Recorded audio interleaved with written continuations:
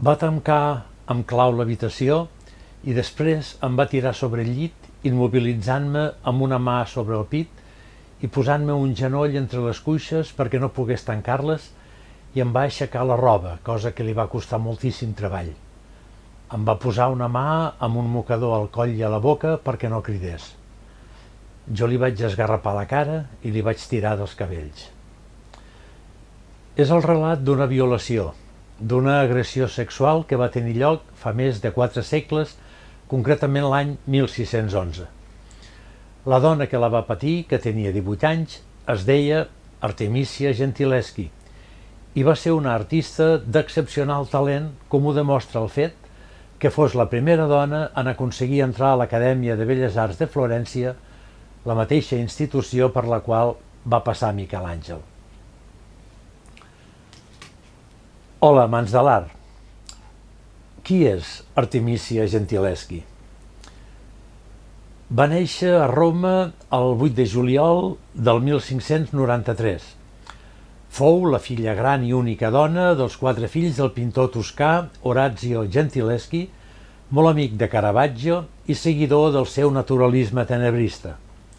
De la seva mare només sabem que va morir el 1605 als 30 anys. Es va iniciar en la pintura en el taller del seu pare que li va cedir en herència. Als 17 anys va signar la seva primera obra, Susana i els vells, influenciada pel realisme, dramatisme i els forts contrastos cromàtics de Caravaggio i pel llenguatge d'Annibale Carracci. Als 19 anys, atès que no podia assistir a les acadèmies professionals de belles arts exclusivament masculines, va tenir un preceptor privat, Agustino Tassi, que treballava amb Horacio en la decoració de les voltes del Casino de la Rosa dins del Palau Pallavicini Rospigliosi a Roma. Tassi la va violar quan ella tenia 18 anys, al maig del, 1900, del 1611, i el tribunal va decidir torturar-la ella per verificar el seu testimoni. Ell va prometre salvar la seva reputació casant-se amb ella, però més tard va renegar de la seva promesa que ja estava casat i Horatio el va denunciar davant el tribunal papal. En aquesta època, la violència sexual no es considerava un delicte contra la dona, sinó contra l'honor familiar. La instrucció, que va durar set mesos, va permetre descobrir que Tassi havia planejat assassinar la seva esposa, havia comès incés amb la seva cunyada i havia volgut robar algunes pintures d'Horacio Gentileschi.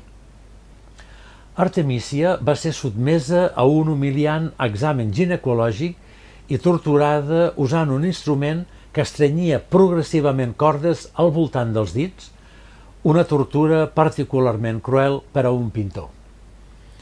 D'aquesta manera es pretenia verificar la veracitat de les seves acusacions, perquè es creia que si una persona diu el mateix sota tortura que sense aquesta, la història ha de ser certa.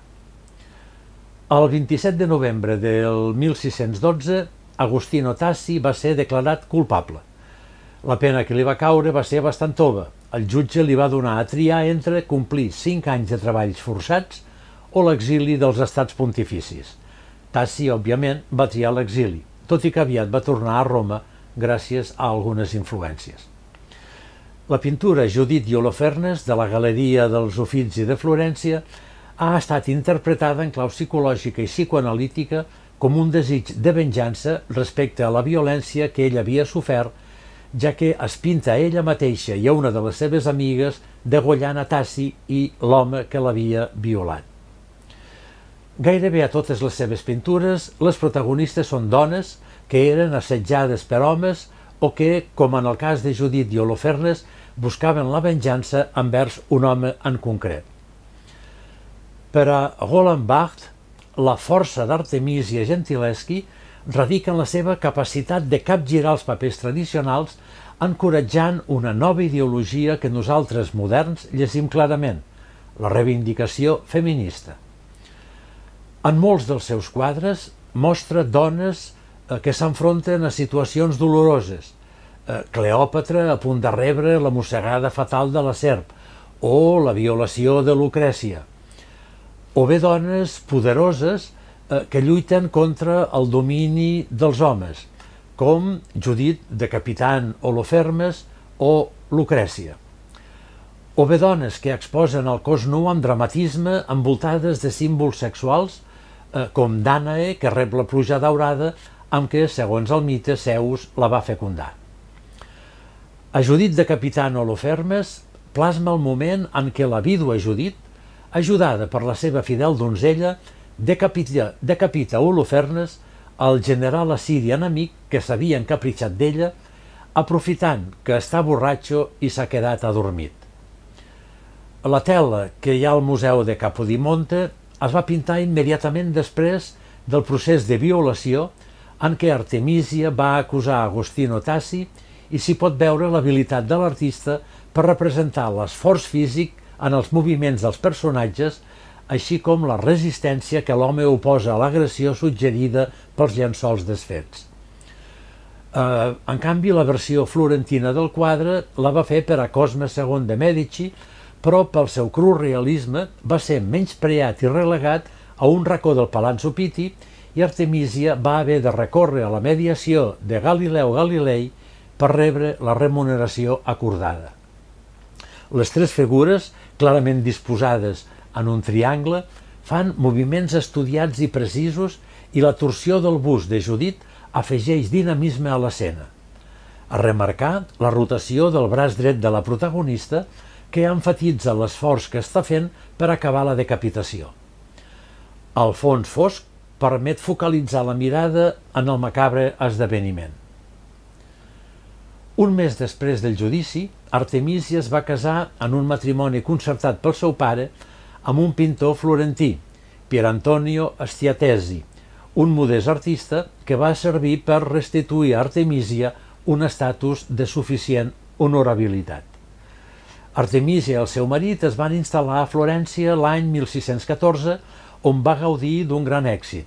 Va ser la primera dona a ingressar a l'Acadèmia del Dissenyo, l'Acadèmia del Dibuix de Florència, fundada per Vasari el 1562. Esdevingué una reeixida pintora de cor, va mantenir bones relacions amb els artistes més respectats del seu temps, va rebre la protecció del gran duc Cosme II de Medici i de la gran duquessa Cristina i va tenir una bona relació amb Galileu. Buonarroti el jove, nebot de Miquel Àngel, li va encarregar l'execució d'una tela destinada a decorar el sostre de la galeria de pintures de la casa Buonarroti, que representa una al·legoria de l'inclinazione, alegoria de la inclinació, en el sentit de vocació o propensió natural a alguna cosa concreta i especialment del talent natural o la predisposició per, al, per a un art, representada en forma d'una dona jove que sosté una brújula. L'alegoria volia significar totes les inclinacions artístiques de Miquel Àngel, i Artemisia va interpretar aquesta comanda amb total llibertat, imaginant-se a si mateixa completament nua, objecte del desig dels homes i objecte de les seves pintures, reivindicant la bellesa del seu cos i el geni dels seus pinzells. Els trets de la jove recorden els d'alguns retrats i suposats autorretrats de la pintora. A través de l'alegoria, Artemisia, que llavors tenia 22 anys, hauria celebrat així la seva pròpia inclinació artística. La pintura devia tenir una càrrega de sensualitat inquietant, ja que Leonardo Buonarroti, nebot del client, va ordenar cap al 1684 a Baldassare Franceschini, conegut com a Volterrano, l'execució dels draps moralistes que cobreixen la seva nuesa. Del 1620 és l'obra Jael i Cissarà, un tema extret del llibre dels jutges versos 4, 11, 22 i 5, 24, 31 i molt poc representat en la pintura del segle XVII. Representa el moment en què Jael, una dona cainita, està a punt de matar Sisarà, un general cananita derrotat pels israelites, que en la seva fugida és acollit per Jael, qui promet alimentar-lo i amagar-lo de les autoritats. En el moment que ell dorm, ella agafa una estaca de la tenda i martella en mà li clava l'estaca a la templa. un acte que va valer a Jael elogis pel seu coratge en el text bíblic. Mentre van estar a Florència van tenir quatre fills i una filla. Només la filla Prudència va arribar a l'edat adulta. Problemes amb els creditors i amb el seu espòs van motivar el seu retorn a Roma i la separació del marit. L'amor d'Artemisia no va ser el seu marit, sinó el noble florentí Francesco Maria Maringhi. De la seva relació en dona testimoni l'àmplia correspondència descoberta fa pocs anys. No se sap per què el seu marit no eh, va acompanyar Artemisia a Roma i en un determinat moment va desaparèixer fins i tot de la seva vida. La pintora va mantenir durant anys la seva relació amb Maringhi, el que no va impedir que alhora tingués relacions amb el músic anglès eh, Nicolas Lanier. Artemisia va romandre a Roma com a dona independent, intentant trobar una casa i criar les seves filles. A més de Prudència, va tenir una altra filla natural, probablement nascuda el 1627. Va entrar a formar part de l'Acadèmia d'Eidesiosi i va establir amistat amb Casiano del Pozzo, un humanista, col·leccionista i gran mentor de les belles arts. És d'aquesta època l'obra Lucrècia, en la que rescata la història de Lucrècia narrada per Titus Livi. Lucrècia era una dona virtuosa i bella de la qual es va enamorar Sextus Tarquinius, fill del darrer rei romà Luci Tarquini el Superb, qui va entrar a la seva habitació per abusar d'ella.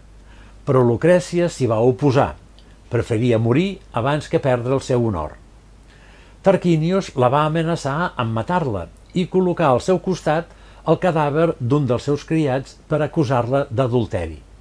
A l'endemà, Lucrècia es va reunir amb el seu pare i espòs per explicar-los el que havia succeït i després es va clavar un punyal. Aquest fet va ser essencial per a la història de Roma perquè les revoltes que va causar van derrocar la monarquia i van instaurar la república. Aquí, eh, en aquest quadre, s'hi representa els instants previs al seu suïcidi. S'estrenya el pit amb una mà, mentre que amb l'altra agafa amb força el punyal. A Roma li estaven vedats els rics encàrrecs de cicles de frescs i dels grans retaules, i entre el 1627 i el 1630 es va traslladar a Venècia potser a la recerca d'encàrrecs més lucratius. El 1630 l'artista va decidir anar a Nàpols a la recerca de noves i més lucratives oportunitats laborals que al començament del segle XVII era una de les ciutats més grans d'Europa, meta de comerciants i artistes que s'hi havien instal·lat o hi estaven treballant, com per exemple Caravaggio, Annibale Carrazzi, Simon Bouet, Josep de Rivera, Dominiquino, etc. Aquí va rebre importants encàrrecs, entre d'altres de Felip IV d'Espanya. D'aquesta estada és l'obra Cleòpatra, que la mostra seminua, amb un cos estilitzat d'acord amb els cànons del gènere que remuntaven al classicisme renaixentista, amb una especial influència de Giorgione, eh, recolzada en un llit i coberta parcialment per un cobrellit color blau indi, mentre al fons apareixen dues criades que acaben de descobrir el cadàver eh, en actitud plorosa. La corona que portava al cap ha caigut sobre el coixí i porta una perla penjant d'una orella. Sota el seu cos es veu la serp, així com un ram de flors.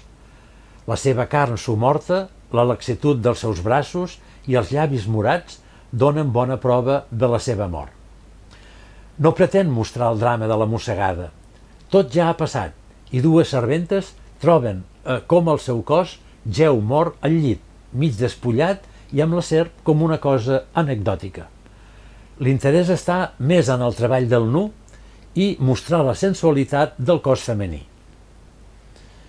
Una de les raons per la qual es representa tant aquesta escena de Cleòpatra és perquè la representació de la nuesa no estava permesa per l'Església Catòlica, que imposava la seva moral pel que fa a les obres artístiques, i per això s'acudia a escenes que permetessin esquivar la prohibició a través de la temàtica.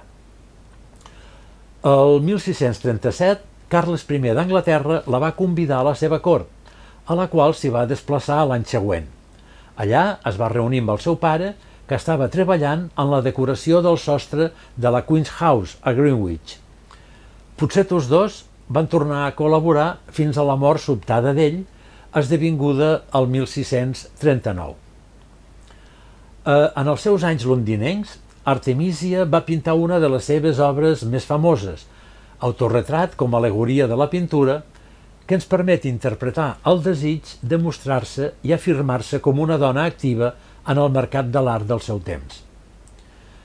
El 1642, amb les primeres escaramusses de la Guerra Civil Anglesa, va retornar definitivament a Nàpols. Eh, no se sap gaire dels seus moviments posteriors. Segurament degué morir víctima de la plaga que va assolar Nàpols el 1656. La seva tomba es trobava a l'església de Sant Joan dels Florentins de Nàpols, que va ser destruïda després de la Segona Guerra Mundial.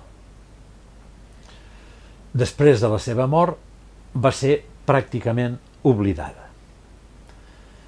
Eh, volem cridar l'atenció en el fet que quan es fa esment d'un quadre realitzat per un artista masculí, per exemple, eh, Susana i els vells del Guercino, es parla directament de la producció, del que representa, eh, de les seves característiques formals o estilístiques, dels seus significats. En canvi, en referir-se a una obra que tracta el mateix tema iconogràfic, però realitzada per un artista dona, en aquest cas, la versió de Susana i els vells d'Artemisia Gentileschi, es posa constantment l'accent sobre els seus fets biogràfics i es deixen de costat els seus valors pictòrics. Giselle Pollock en el llibre eh, Crítica feminista a la teoria i història de l'art del 2007 es planteja l'interrogant sobre si és possible la realització d'una biografia de l'artista en la qual la seva obra no estigui reduïda a expressions terapèutiques de la seva por reprimida, ira i o desig de venjança. Aquesta situació s'exemplifica clarament en tenir en compte que en les obres, per exemple, de Botticelli, de Leonardo, de Michelangelo de Caravaggio, no se centren les anàlisis al voltant de la seva homosexualitat i moltes vegades ni tan sols és esmentada, mentre que en l'obra d'Artemisia el fet que va ser violada sembla ser central i fonamental per entendre-la. Lliure sexualment, independent, professionalment, L'artista no es va deixar condicionar ni pel fet de ser una dona ni per l'estigma social del judici. Eh, negociava ella mateixa el preu de venda de les seves obres amb col·leccionistes privats de renom, com els Medici o el duc de Mòdena. Viatjava sola per tota Europa i dirigia un taller de pintura a Nàpols on treballaven exclusivament homes. La seva llibertat i la seva modernitat la van convertir en un personatge excepcional per a l'època. Hem triat per a la seva anàlisi una de les seves primeres obres, Susanna i els vells, de la que n'estudiarem les fonts bíbliques en les que es basa i la seva inserció en la cultura o el folklore popular, a més dels aspectes iconogràfics i les possibles interpretacions, i mitjançant una anàlisi comparada establirem les diferències amb obres del mateix tema d'autors com Tintoretto, Rubens i Rembrandt, eh, posant de manifest el diferent paper de l'espectador i fent un recorregut iconogràfic des de les catacumbes fins al segle XIX per tal d'ubicar millor l'obra d'Artemisia Gentileschi dins la història de l'art. Comencem per establir les fonts textuals en què es basa el quadre. L'escena de Susana i els vells està inspirada en el capítol 13, versicles de l'1 al 64 del llibre de Daniel, on s'hi recull la història de Susanna i el judici de Daniel. Exclòs del cànon de la Bíblia jueva, perquè deixava en molt mal lloc el poble hebreu i els seus jutges, fou incorporat a la Vulgata per les addiccions gregues. La crítica protestant ha eliminat la història del judici de la casta Susanna per ser una versió apòcrifa. El llibre de Daniel exhorta a la resistència contra els dèspotes, prediu la caiguda dels imperis de rapinya i intenta aixecar la moral dels jueus perseguits amb exemples de protecció divina. Eh, l'extraordinària popularitat de Daniel i la riquesa de la seva iconografia eh, s'expliquen bàsicament per dues raons. Eh, primera, ha estat considerat Daniel pels teòlegs com una prefiguració de Crist. Daniel, a la fosa dels lleons, és la imatge del Redentor al sepulcre. Segona, a més, és, amb la casta Susana, el símbol de l'ànima salvada. És el tipus de l'home protegit per Déu. El relat bíblic ens presenta Susanna, dona babilònica, casta i temorosa de Déu, el marit de la qual Joaquim és molt ric i posseeix un gran jardí on s'hi reuneixen els jueus. Entre aquests s'hi troben dos ancians jutges que la desitgen i l'espien. Un dia, durant un dels seus banys, quan les donzelles no hi són, l'assetgen. Davant la negativa de Susanna, opten per fer-li xantatge dient que si no satisfà els seus desigs, l'acusaran d'haver estat trobada amb un home jove. Susanna prefereix el judici on és culpada d'adulteri i condemnada a morir lapidada. Mentre és conduïda a suplici, prega a Déu i aquest li envia el jove Daniel, el qual aconsegueix interrogar els ancians per separat. Els pregunta sota quin arbre han vist a Susanna i el jove, i un diu un llentiscle, i l'altre una alzina, demostrant que els seus testimonis són falsos.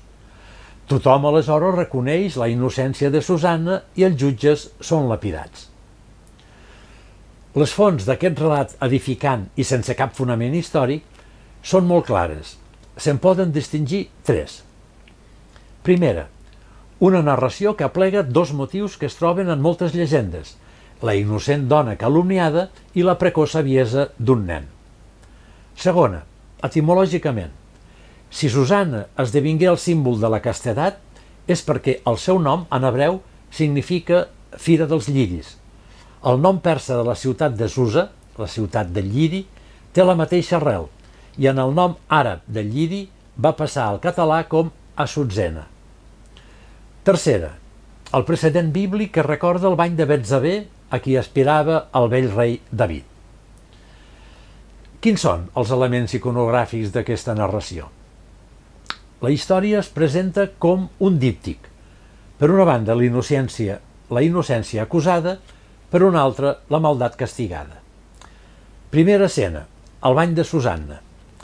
Dos vells luxuriosos s'introdueixen amagadament al jardí on innocentment es banyava la casta Susanna, esposa del ric Joaquim li varen fer proposicions deshonestes seguides d'amenaces. Els seus crits els obligaren a fugir, però eh, per a venjar-se de la contrarietat l'acusaren d'haver fornicat amb un jove sota un arbre del jardí i demanaren que se la condemnés a mort per crim d'adulteri. Segona escena, el judici de Daniel. El jove Daniel, que dubtava de la sinceritat d'aquests dos vells i encara que estigués escrit que dos homes que presentessin el mateix testimoni deien la veritat, els fa tancar a cadascun en una habitació i els interroga per separat. Pel que fa als personatges, el text fa esment dels següents protagonistes. Joaquim i Susanna, els dos jutges, les dues minyones, el jove Daniel i el poble. El conjunt de representacions de la paràbola de Susanna Eh, des de les pintures de les catacumbes fins a les obres del segle XIX, han deixat de banda les minyones i el poble, així com a l'espòs, i s'han centrat en les quatre figures centrals. Ens haurem de preguntar quina ha estat l'escena més representada de tota la història a les diferents èpoques. Pel que fa a Susanna, el text eh, la presenta com dona vella i delicada, de Daniel en subratlla que es tracta d'un jovenet, i si el segon prefigura a Cris i el Redemptor al sepulcre, la primera és el símbol de l'ànima salvada, de l'home protegit per Déu, significant el conjunt que la gràcia divina salva els creients. Pel que fa a les accions, és interessant fer esment de com està narrada la història atès que aquest tipus de descripció esdevindrà en pintures i escultures un element rellevant de la composició.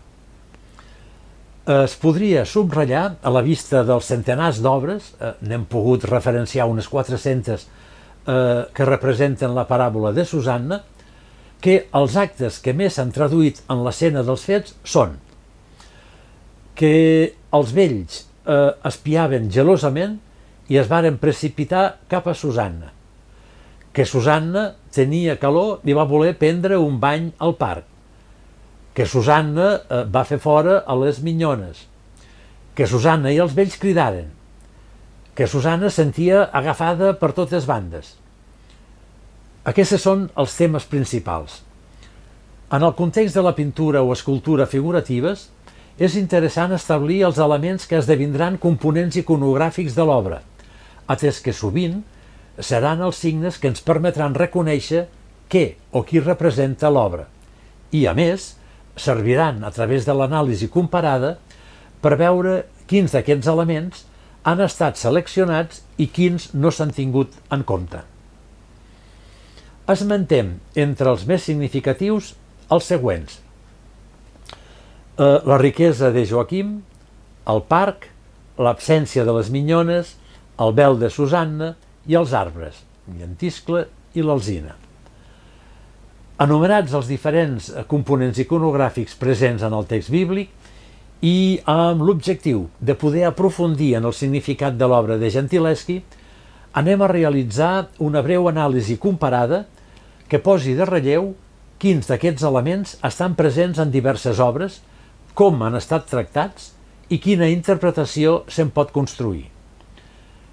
En molt poques ocasions, Susanna i els vells es presenta de forma no teatral, sense una Susanna exhibint-se i amb clara consciència d'algú a l'altre costat que ve a sumar-se als assetjants.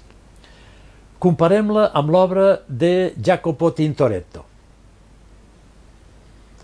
En el quadre de Tintoretto, l'espectador és el vèrtex d'un triangle que té en l'altre el cos exposat d'una vella i exuberant Susanna a qui adornen amb flors i joies. Susanna adopta una posa clarament teatral, d'actuació per a l'espectador. Es mostra. Aquesta idea ve reforçada per les línies compositives que uneixen les mirades dels vells, que apel·len l'espectador cridant la seva atenció i el fan partícip de l'escena, convertir-lo també en voyeur. Les mirades actuen com a vectors d'aquesta interrelació entre l'espectador i l'espai representat. En canvi, Artemisia ha eliminat tot element anecdòtic lligat a l'escena del bany de Susanna, com el jardí o les joies, i ens presenten només els tres protagonistes de la història inscrits en un espai molt auster. La Susanna d'Artemisia és una dona que es resisteix a l'atac dels mascles. La composició reforça l'empresonament.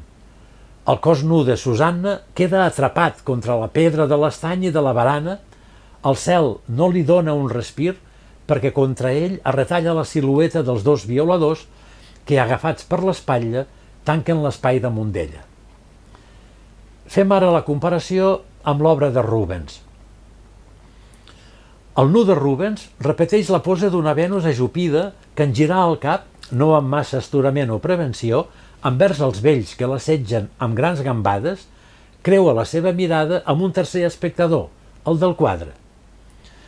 En canvi, a l'art d'Artemisia, els dos ancians s'abaten sobre una Susanna acorralada entre la paret i l'espectador, reclosa en el reduït espai que es genera entre la paret i el límit del quadre que representa la mirada de l'espectador.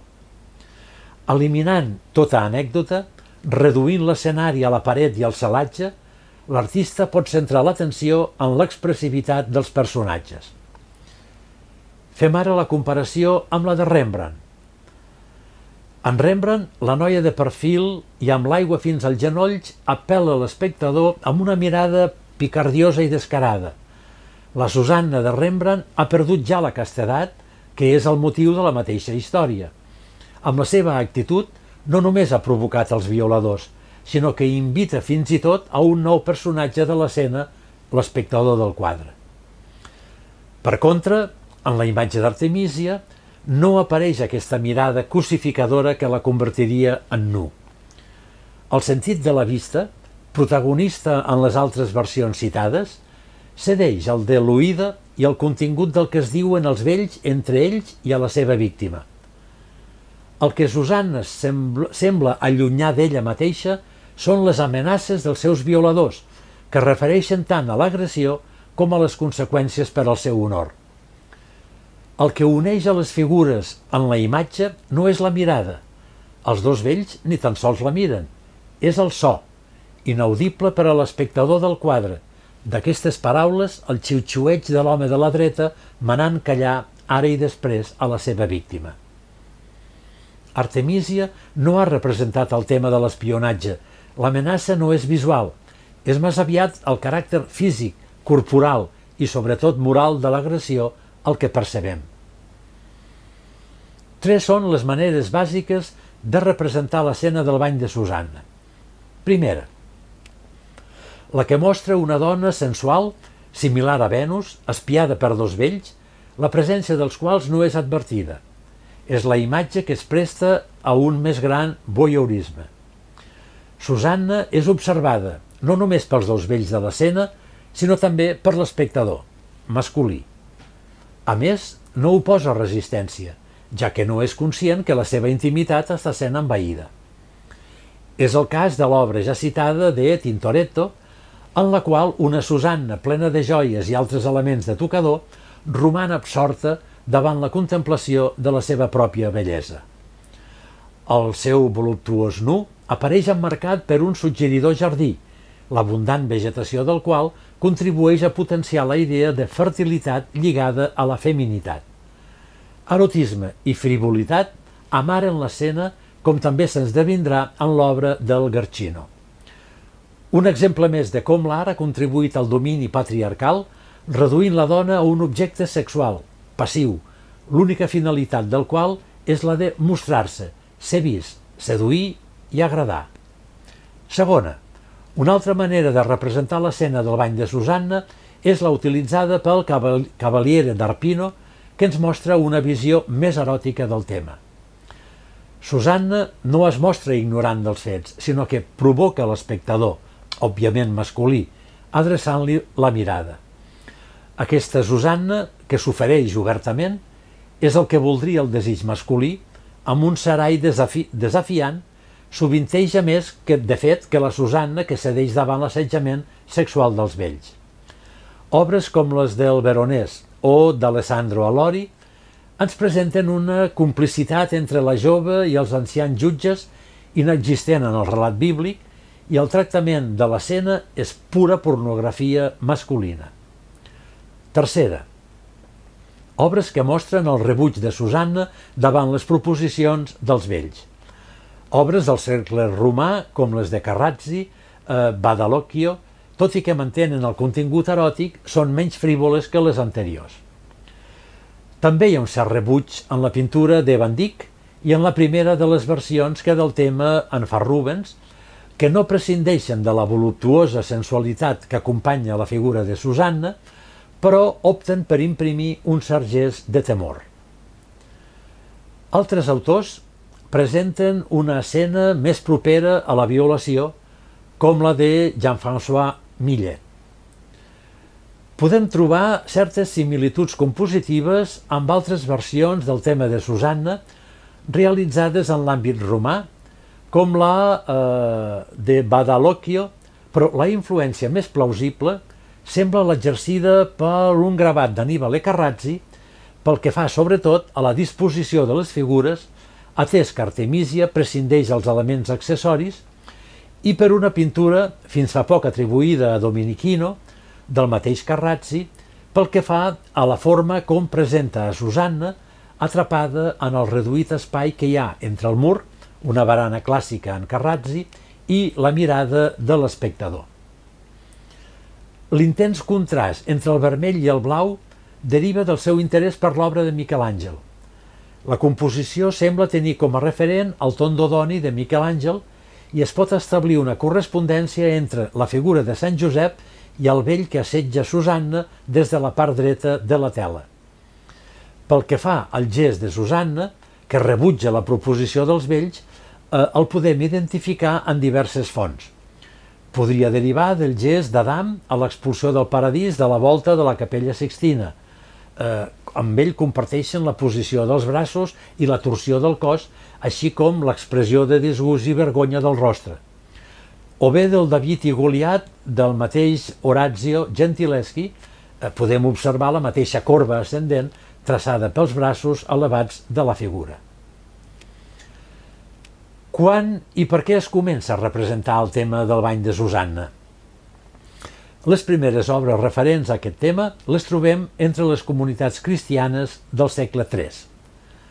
En primer lloc, cal tenir en compte el context històric, caracteritzant per un període de persecucions que abasten des de la de Trajà, del 109 al 111, fins a la de Dioclesià, del 303 al 304, passant per la de Septimi Sever, del 202 al 210, la de Deci, del 250 al 251, i la de Valerià del 56 al 259. No serà fins al 311 que es promulgarà l'edicte eh, per Galeri eh, de tolerància, que establia la llibertat de culte i proselitisme per a la religió cristiana en igualtat a les altres religions. Del 313 és l'edicte de Milà promulgat pels emperadors Constantí el Gran i Licini, que van confirmar l'edicte de tolerància i van precisar els seus termes. Diu, nosaltres, els August, Constantí i Licini, hem jutjat que entre tot el que veiem, el que veiem convenir al bé universal, devíem ocupar-nos preferentment del que afecta a l'honor diví i donar als cristians el mateix que tots els altres, la lliure facultat de professar la religió que cadascú volgués. La legislació procristiana de Constantí es va concretar en els següents anys del 319 al 323 Sabem que el llibre de Daniel exhorta a la resistència contra els governs opressors i proclama la protecció divina per als qui són perseguits.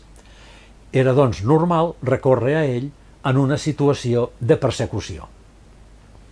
En segon lloc, el tema de Susanna va estar popularitzat per la pregària dels agonitzants, l'Ordo Commendationis Animae, composta al segle II per Sant Ciprià d'Antioquia i que va tenir molta influència en el simbolisme de l'art de les catacumbes per la seva connexió amb la litúrgia funerària. En ella s'invoca especialment a Susanna com un exemple de salvació de falsos testimonis. Així resa aquesta oració, Libera domine animam servitui ancillae tue, sicut liberasti Susannam de falso crimine. Allibera, Senyor, l'ànima del teu serv o de la teva esclava així com vares alliberar Susanna del, fal, del fals crim. En l'art cristià primitiu, la casta Susanna és sempre el símbol de l'ànima salvada. Està representada ja en la forma alegòrica d'un bé entre dos llops, d'un bé, perdó, entre dos llops, ja en l'actitud d'un aurant entre els dos vells. Esdevingué, com la Mare de Déu, el símbol de l'Església. Els dos vells que la calumnien són la imatge dels jueus i dels pagans que persegueixen l'Església. En tercer lloc, pels canvis en la concepció del matrimoni i la fidelitat conjugal introduïts pel cristianisme. El matrimoni es transforma de garantia de l'herència i obligació social en virtut cristiana, component essencial de la pietat laica. La profusió del tema de Susanna i els vells eh, coincideix en un moment de grans debats sobre el lloc de la sexualitat en la societat i en la pròpia naturalesa humana el, el cristianisme desafia la legitimitat de la institució del matrimoni i el paper del sexe en ella. Defensar i regular la castetat conjugal esdevingué una urgent preocupació de la naixent Església. La paràbola de Susanna eh, constitueix un eix al voltant del qual els teòlegs van formular les seves posicions. Els jueus, per la seva banda, consideraven el matrimoni com la condició natural de l'home i la dona. Matrimoni i procreació eren les obligacions religioses de tots els adults jueus, com diu el Gènesi 1.28.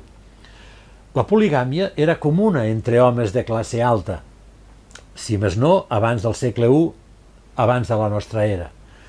Les relacions sexuals entre persones no casades era una infracció, però l'adulteri era delicte greu, era una amenaça a la legítima herència i castigat amb la lapidació d'ambdós, com diu el Levític 18.20 i Deuteronomi 22, versicles 22-24. Entre els romans, el matrimoni era un acte privat de mutu consentiment. Monogàmia i independència de la religió eren els requisits per a produir hereus legítims i ciutadans.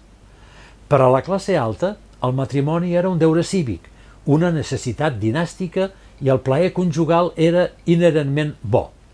Només el concubinatge i l'adulteri posaven en perill l'herència i l'estatus social.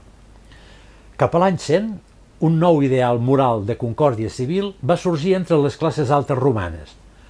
El matrimoni va ser vist com un lloc d'amistat entre marit i muller. Aquest canvi és paral·lel a la influència de l'estoicisme, que considera el plaer moralment neutre i un fi en ell mateix. En canvi, per al cristianisme, la virginitat és un estat superior al matrimoni.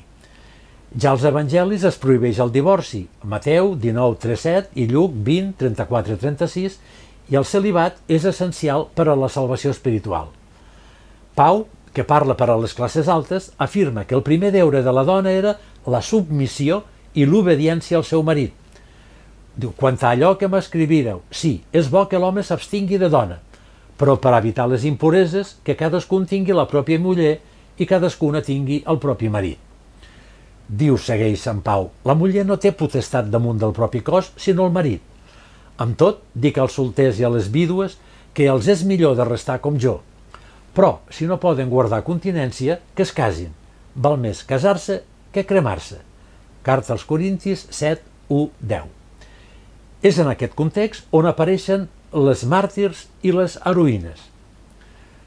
La iconografia de l'art paleocristià es va fer resó d'aquests debats morals, espirituals i socials.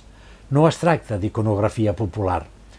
La literatura sobre el matrimoni i la virginitat va ser escrita per a les classes altes, que eren les úniques que podien ser enterrades en sarcòfags i en mausoleus pintats o decorats.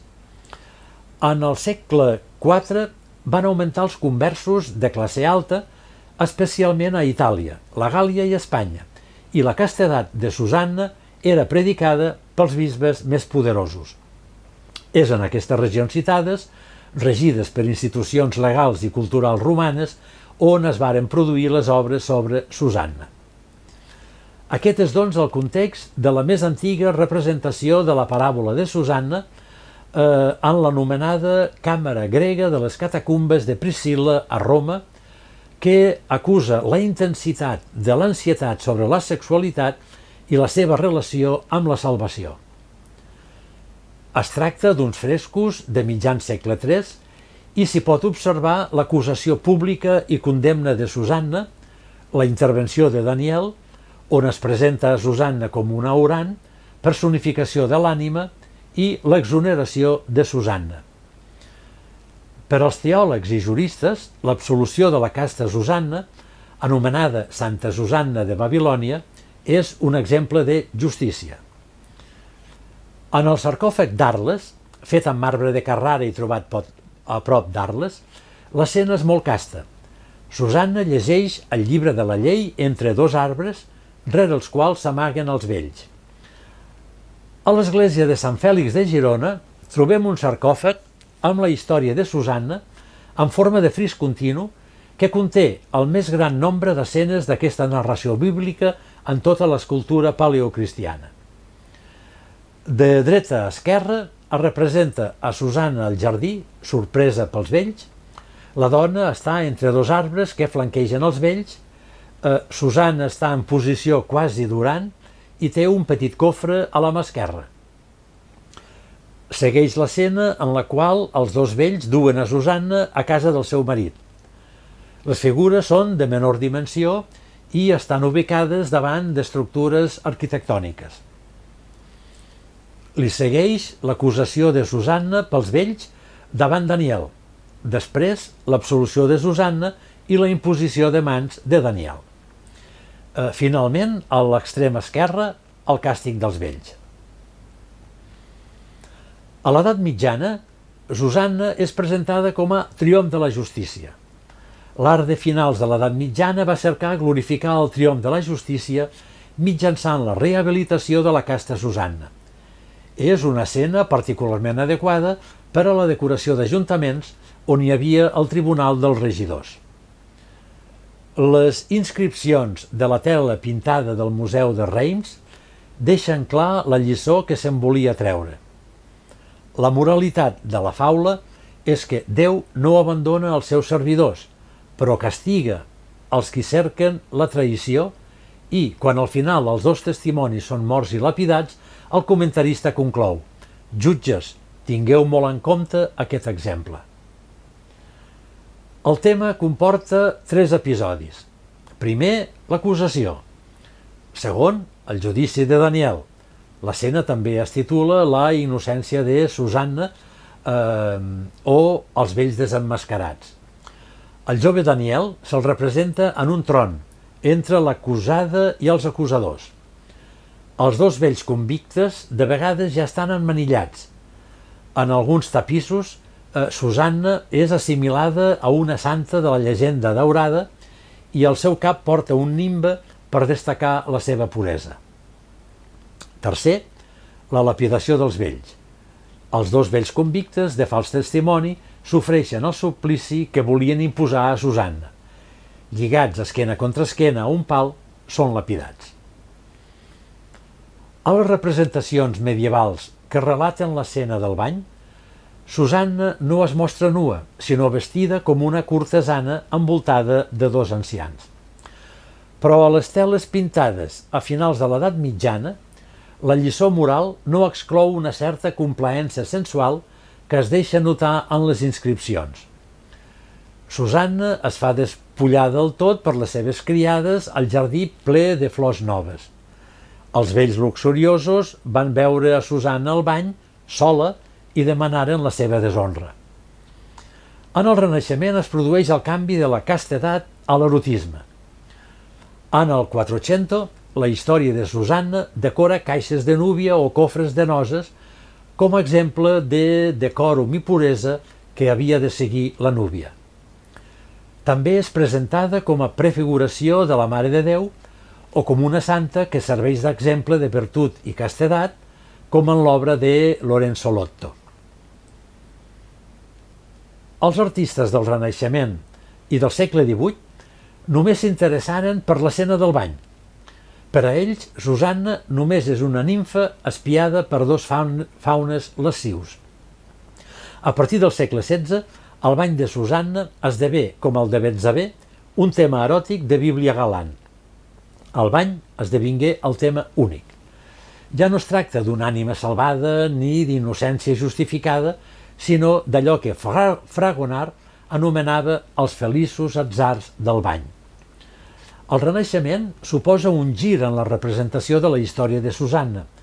Els artistes deixen de plasmar tot el cicle narratiu i es centren en l'escena del bany. És curiós que una història bíblica destinada a enaltir la castedat femenina s'hagi transformat en la tradició iconogràfica occidental en una escena de franca sensualitat i fins i tot en una oportunitat per legitimar el plaer escòpic. La majoria de pintors renaixentistes i barrocs es recreen en l'episodi del bany posant l'èmfasi en la fruïció luxuriosa dels vells i en l'exuberància del cos de Susanna que s'ofereix nua i accessible a la mirada de l'espectador. El bany de Susanna, com el de Betzabé, és un dels temes preferits de la pintura veneciana del segle XVI, però en l'àmbit romà, on treballa Artemisia, no es popularitza fins al segle XVII gràcies a l'impuls del cercle dels Carrazzi. En el barroc, el bany de Susanna adquireix eh, un doble significat. Manté d'una banda el seu valor exemplificant, però d'una altra es deslliga de les seves connotacions religioses esdevenint un pretext per mostrar un nu femení. La casta Susanna es transforma en objecte sexual i, sota l'excusa d'un relat bíblic, facilita el voyeurisme legitimat. Susanna esdevé una projecció del desig inconscient masculí. En aquest context, com interpretem la Susanna d'Artemisia Gentileschi? La tela de Gentileschi destaca el sofriment de la víctima i el no plaer anticipat dels vells. Susanna ja no apareix representada com una dona disponible i fins i tot complaent, sinó com una jove angoixada, la vulnerabilitat de la qual es troba reforçada per l'estranya contorsió de la figura. La intensitat expressiva del seu rostre i el gest d'horror amb el que rebutja les proposicions dels vells transmeten la sensació d'ansietat, terror i vergonya experimentades per una víctima obligada a elegir entre la violació i l'escarni públic. L'estructura jeràrquica de la composició ubica la figura de Susanna en un pla d'inferioritat. La seva actitud ni ignora ni consenteix. És la d'una dona, la intimitat de la qual ha estat violentament vulnerada.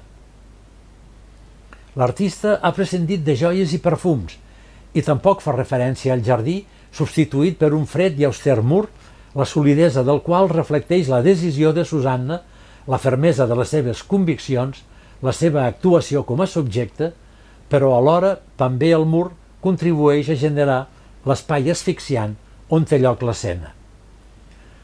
L'espectador no té camp visual, com succeeix en altres obres, per esdevenir el tercer espia. L'espectador no està invitat a participar. La seva mirada no pot transitar per l'escena. Només li queda la possibilitat de sentir-se turbat, incòmode, qüestionat davant la injustícia de l'acció.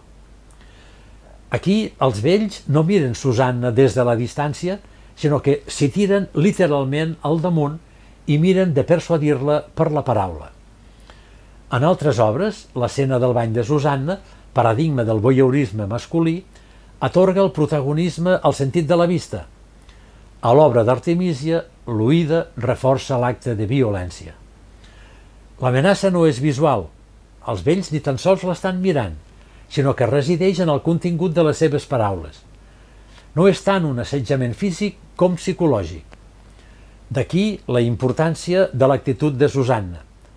No rebutja només l'acte sexual, sinó que no vol deixar de ser subjecte de les seves accions, i aquesta seria la principal conseqüència en cas de sotmetre's al desig dels vells. La Susanna d'Artemisia no és un pretext per representar un nu femení, sinó més aviat una escena d'una agressió sexual. Ja no es tracta d'una Venus que s'ofereix a la mirada masculina, sinó de mostrar un personatge que vol seguir sent un jo. En aquest sentit, està propera a Antígona i a totes aquelles dones que no s'han deixat convertir en objectes del desig masculí. L'Artemísia entén a Susanna, i ho fa transmetent l'angoixa de la protagonista i l'actitud perversa dels ancians. Artemisia era una dona en un món d'homes, probablement l'única dona en el cercle d'artistes al qual pertanyia, i hagué d'enfrontar-se a nombrosos obstacles per reeixir com a pintora. No va optar per pintar temes femenins, eh, com ara natures mortes o motius florals, sinó que va fer servir tots els constrenyiments que sobre ella pesaven per tal d'elaborar un llenguatge propi que li permetés subvertir els temes que pintaven els seus col·legues masculins. Transforma a les seves protagonistes femenines en subjectes amb veu pròpia, que, com Susanna, defensen els seus propis interessos i s'allunya de la instrumentalització del cos femení predominant en la pintura barroca. És interessant observar com la crítica tradicional eh, s'ha posicionat davant la violació de la pintora i de les peculiaritats del seu univers, univers iconogràfic. Les figures femenines de Gentileschi han estat descrites sovint com masculines, eh, monstruoses o fins i tot animalístiques. Eh, la seva propensió a pintar dones heroiques ha estat titllada d'irreverent i atribuïda a la seva vida dissoluta i freqüents aventures amoroses. A partir del segle XVIII es va gestar una llegenda al voltant de la promiscuitat sexual de la pintora, una llegenda alimentada pel propi Tassi durant el judici, famosa a tota Europa, eh, segons un crític anglès de l'època, tant pels seus romansos com per la seva pintura. Poderoses o angoixades, violentes o expressives, les heroïnes de Gentileschi no es corresponen amb cap dels estereotips associats tradicionalment a l'art femení. delicadesa, elegància, blanesa, debilitat. Incapaç d'encotillar-la en les categories establertes del que és femení, el discurs dominant ha recorregut a dues estratègies narratives aparentment contraposades, però en realitat complementàries, en tant que destaquen la identitat sexual de Gentileschi, la seva condició de dona per damunt de la d'artista. És la desexualització, Artemisa és una dona masculina, la hipersexualització, Artemisa és una dona luxuriosa. Artemisia utilitza l'espectador de forma diferent als seus contemporanis. No en referim tant a la mirada de la dona representada com a factor de desalienació, sinó en la que l'artista exigeix d'un espectador de la seva pintura, és a dir, la mirada externa. Pérez Carreño parteix de la distinció adoptada en l'obra eh, de Michael Fried entre absorció i teatralitat. Distinció que ens permet introduir l'element clau en la interpretació d'aquesta obra d'Artemisia. La imatge de la Susanna exigeix a l'espectador una determinada manera de mirar.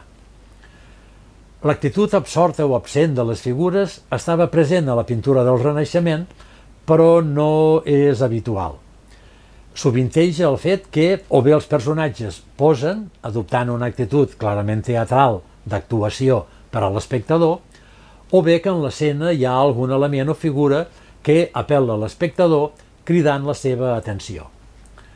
Una perspectiva, un escorç, un gest o una mirada poden actuar com a vectors d'aquesta interrelació entre eh, l'espectador i l'espai representat.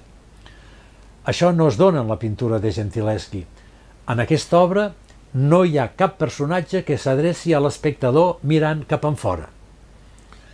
El que s'esdevé dins del quadre és un assetjament al marge del que hi pugui veure l'espectador. La Susanna de Gentileschi, així com els vells, ignoren a l'espectador. Es mostren ocupats o a fer callar a la Susanna o a defensar-se de l'abús i de l'atac els tres personatges del quadre ignoren la presència de l'espectador. Per tant, Artemisia ha aconseguit eliminar el poder de l'espectador. Tot nu pressuposa sempre un espectador masculí. Ha eliminat de construir amb la seva mirada la realitat del quadre. Es destrueix, doncs, un dels principals mecanismes masculins de producció d'imatges. Trenca amb el patró segons el qual l'espectador és de gènere masculí i posseix el poder de mirar i de construir el que és femení.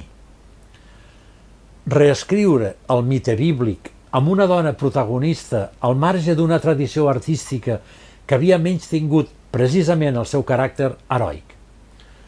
Artemisia aconsegueix, així, recuperar aquest valor creant una imatge potent alliberada dels tòpics sexistes més evidents.